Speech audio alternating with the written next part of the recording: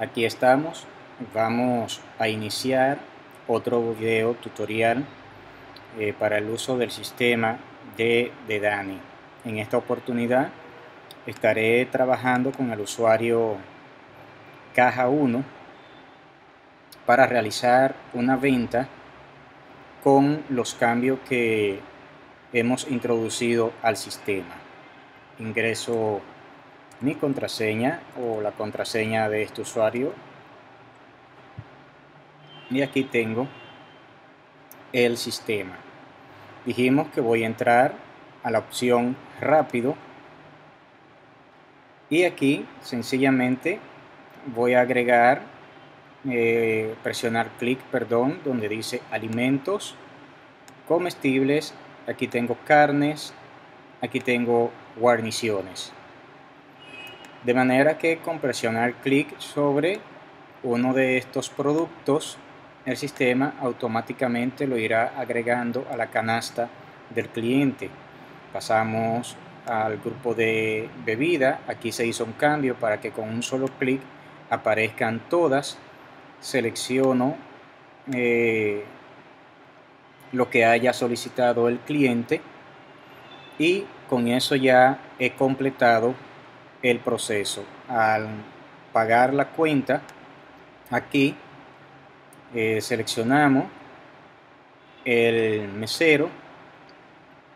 Aquí me está diciendo que no tengo un turno abierto, de manera que tengo que abrir el turno. Esto ocurre porque me salté el proceso de aperturar el turno para que pudiésemos presenciar lo que ocurre cuando no se abre el mismo. En esta oportunidad entonces presiono clic en sí y voy a colocar el fondo de caja igual, unos 4 mil pesos y le voy a dar abrir turno.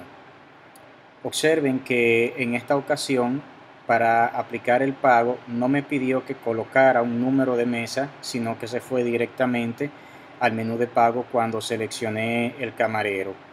Así que ya esa opción también fue quitada, no nos va a pedir eh, una mesa. Vamos a ingresar el valor con el que nos está pagando el cliente, digamos nos está pagando con 6.600 eh, pesos. Ingresamos, aquí está nuestro cambio en rojo, el total de la venta y el cambio para el cliente doy clic en aceptar y listo, con eso he concluido mi venta.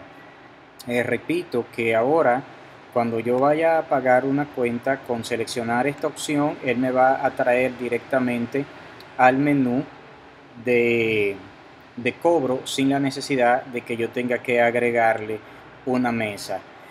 Eh, deben prestar atención esto ya como una observación, que si yo presiono un clic acá donde aparece el 1 y le doy a 2 o 3 y luego elijo comestible, carne y pongo acá este producto, él me va a colocar las tres cantidades, observen acá que yo le había agregado una en su defecto más las tres que yo puse, un total de 4, de manera que aquí podemos aumentar las cantidades de un producto. Voy a repetirlo. Si yo le doy a más, aquí tenemos tres y luego vengo a guarniciones, le doy a papa, en vez de ponerme una, él me va a colocar tres. Quiero eliminar uno de estos productos porque me equivoqué o porque el cliente decidió no comprarlo, pues elijo la opción eliminar un producto o puedo eliminarlo todo.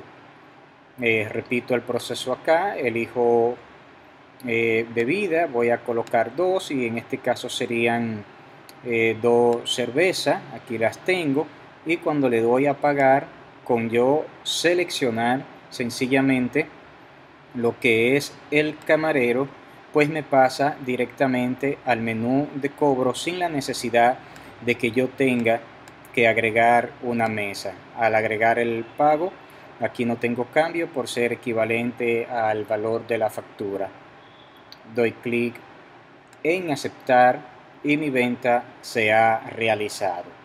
Eso es todo de manera simple, sencilla.